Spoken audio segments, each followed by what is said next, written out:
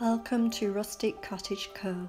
I'm Julie and I hope you like my Facebook page Rustic Cottage Co, my group Rustic Cottage Co and my YouTube channel Rustic Cottage Co. This video is to inspire you. Please give the thumbs up, like, tell your friends and pass the word on. That will help my business. I much appreciate the time you're taking to enjoy this video. Please keep watching and let me know what you think in the comments. And thank you again for watching Rustic Cottage Co. from Julie. Have a great day. Enjoy the movie.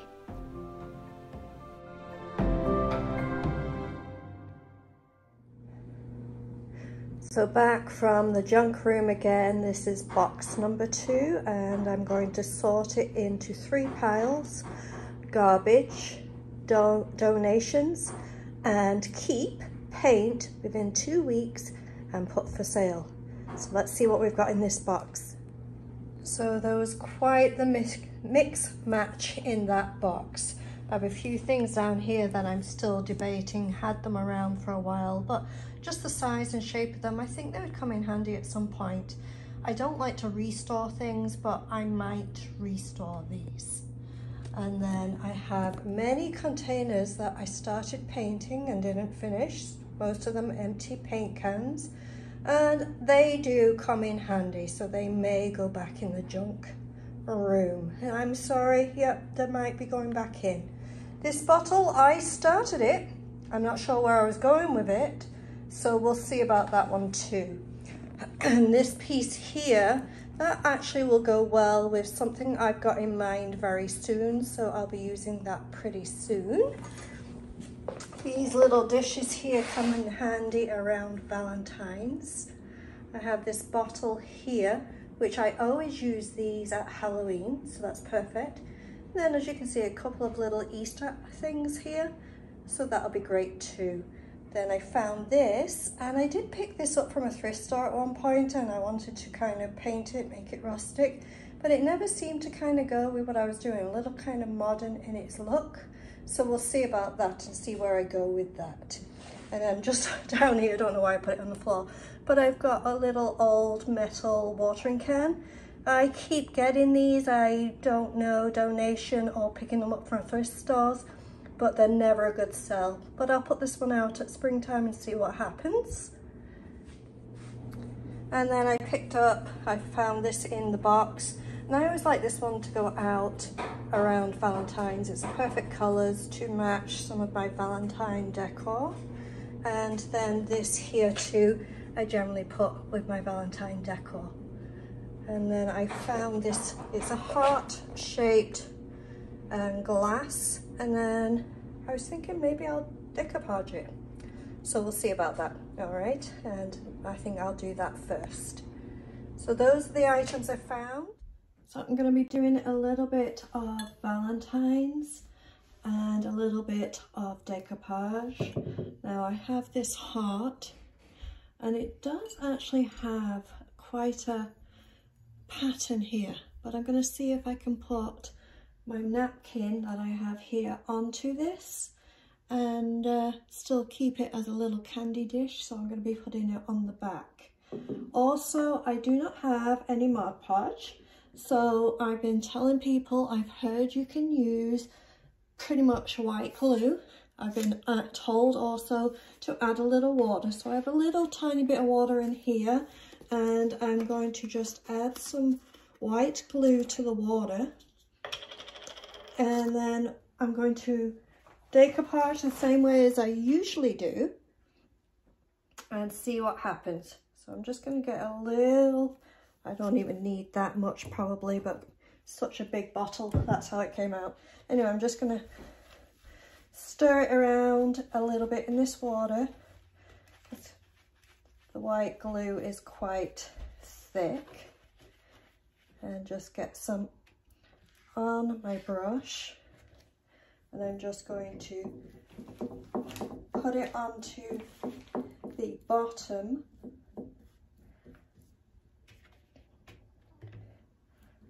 Of this. And I'm just making sure I don't need it heavy but because it's got such a pattern on the bottom I'm actually making sure I'm in all the crevices here. And I want to make sure I have this up the right way and that most of these beautiful flowers are actually on the bottom. So let's do kind of like that. Just let it drop it down. I'm using the paper, paper, plastic bag method and I'm just pushing into all the detail of this pretty bottom of this glass jar. I'm using the plastic bag as if I was just using my fingers, I could maybe stick to the glue and pull it back off. Using the plastics prevents that happening and you pulling it back off and maybe possibly ripping it. So I'm just gonna now pull that off. And this is what I have right now. And I'm going to, and that's what it looks like inside. I'm gonna let that dry and then I will show you what I do next when it's dry. So this is now dried nicely and I'm going to do the same thing again. I have some glue and some water just mixed together. I'm just going to put it over the top.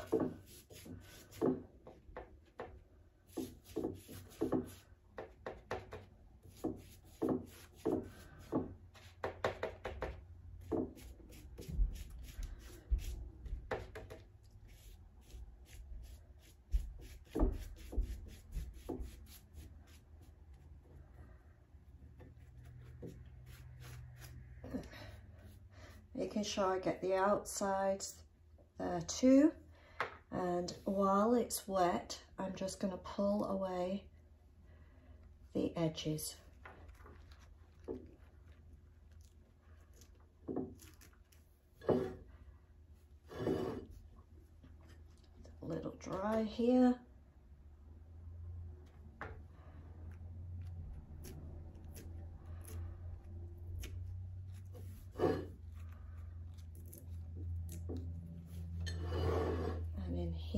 just going to do the same but just making sure you don't rip it too much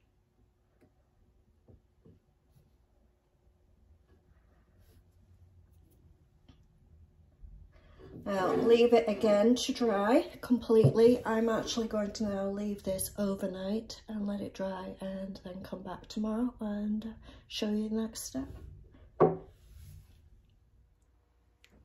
So next I'm going to be just painting the bottom, the very bottom, now it's dry, um, with some white chalk paint. And I haven't decided if I'm going to paint the sides or not yet. I'm going to decide that once this is dry, the paint's dry and have a look. So right now I'm just painting the bottom and it's going to take two coats.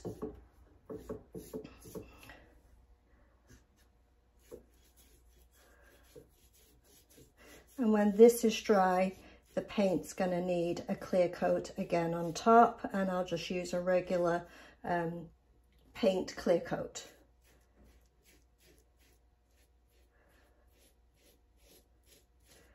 So just doing one cover and then let that dry.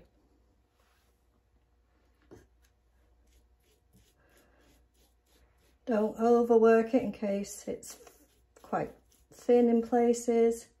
Just get it all on, do one coat, let it dry, and then we'll do a second coat.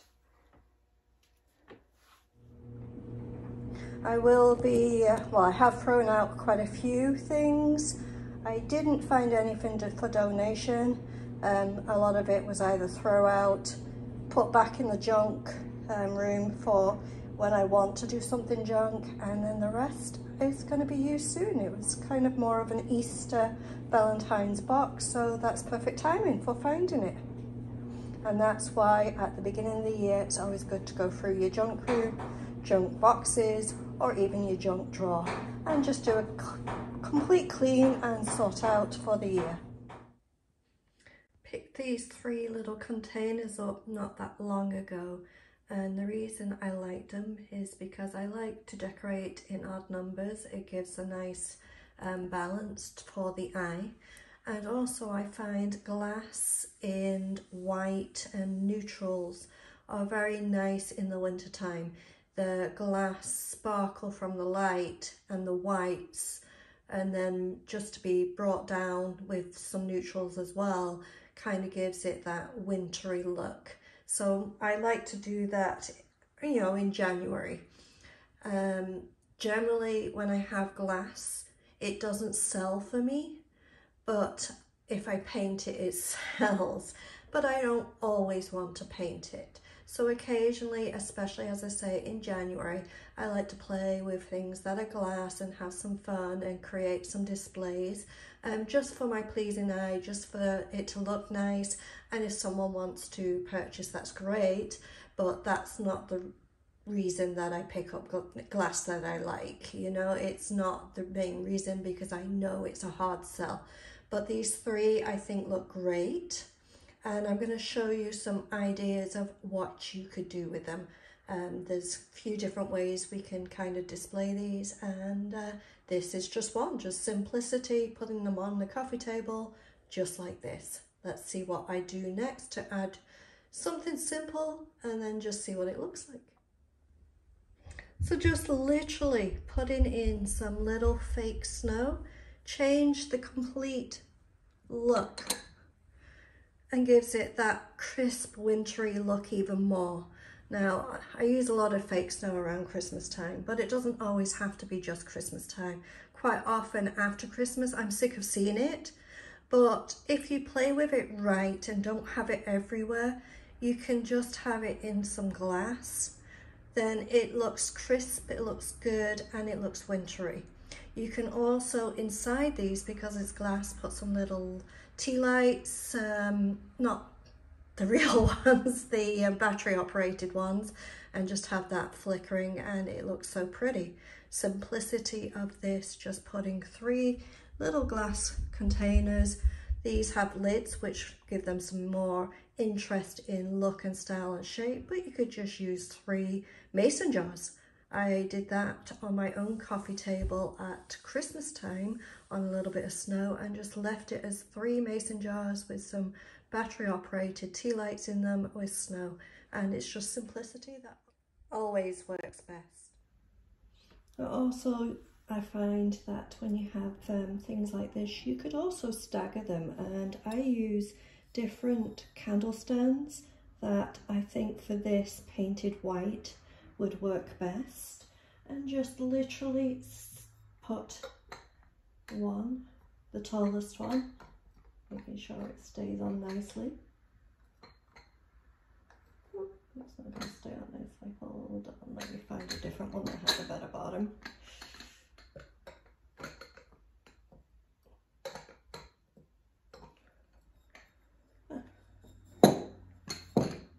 that way.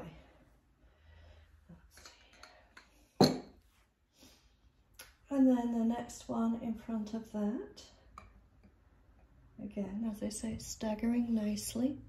Just bring you around here so we can see. And then the bottom one. Literally just putting in front of everything. So you've got everything nicely staggered. You could do it in different ways. And let's kind of put this one here, I think.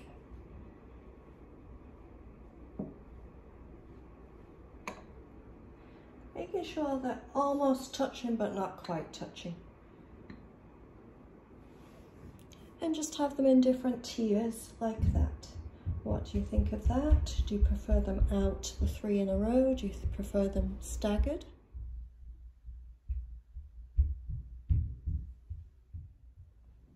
Next would be starting to turn the winter decor into Valentine's.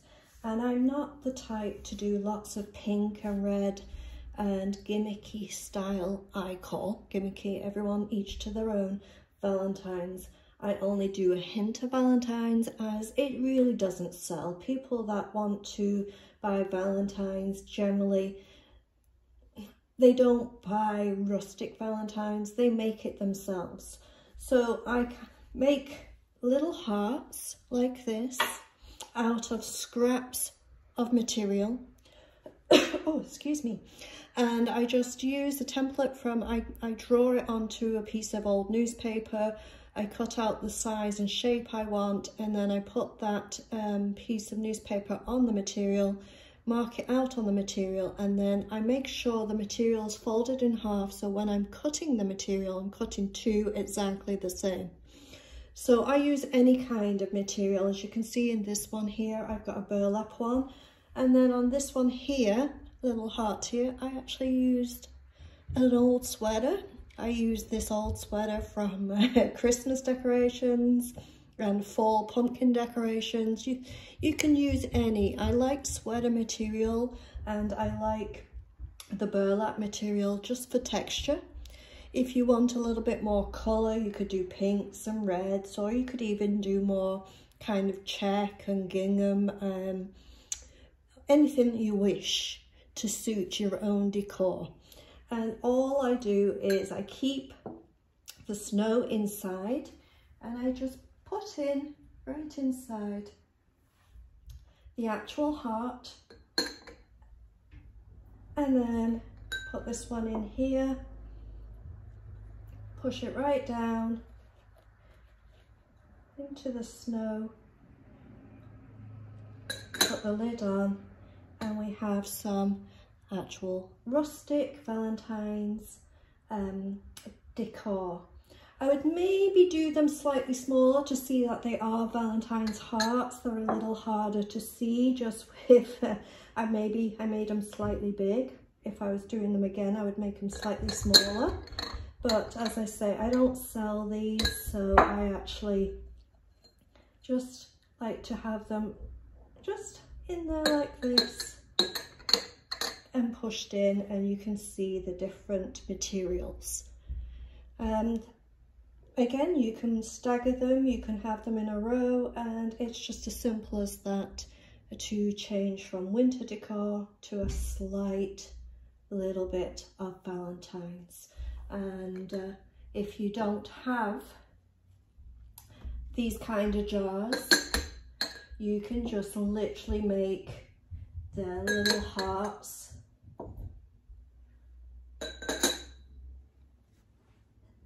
And put them on a tray of some kind and just stagger them nicely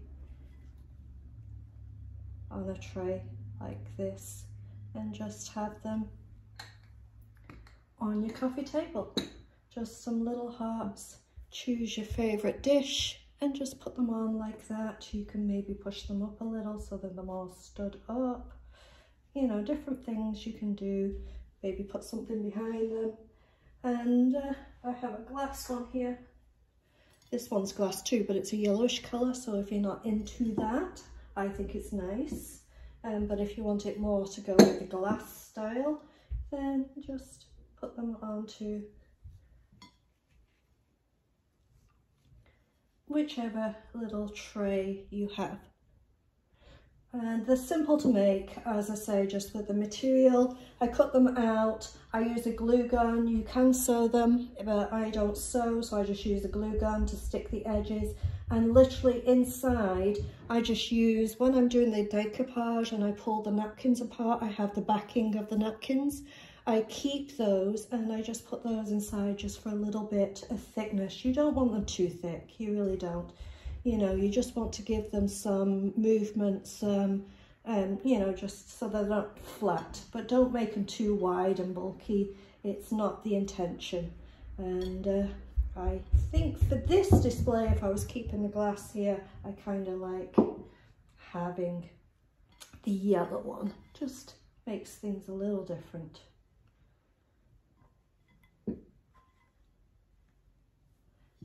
And there you go, that's how I turn little coffee table into Valentine's. But I think I'll put them back in my three little jars. Just like that.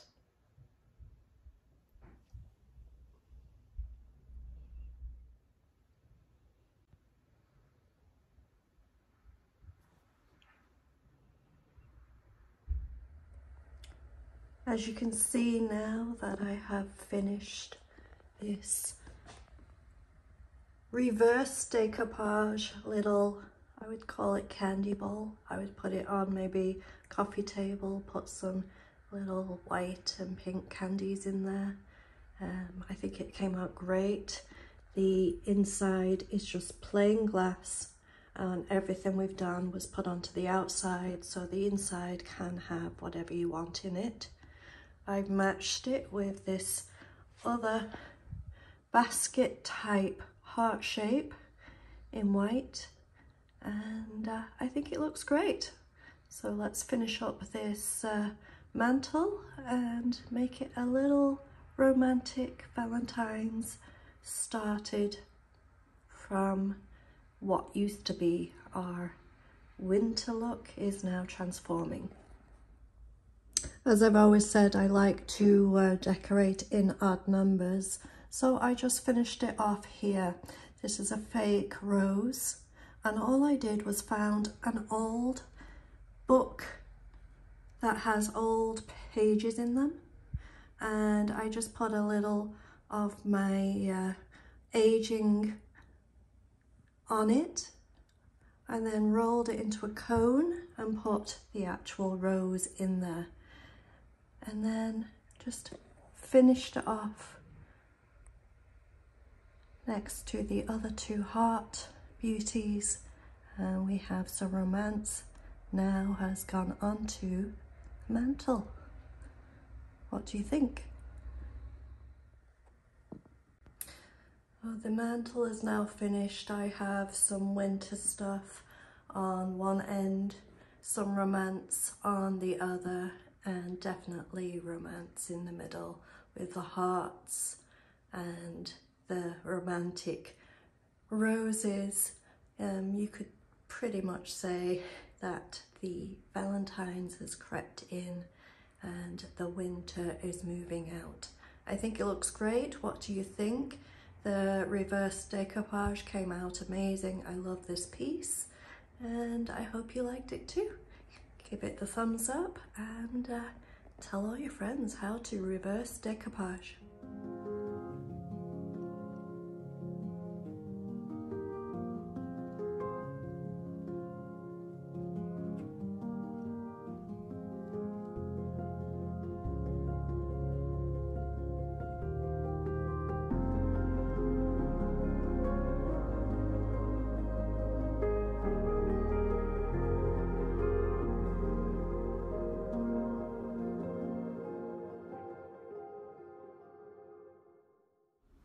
Julie from Rustic Cottage Co. I hope you enjoyed the video. Please like and uh, thumbs up.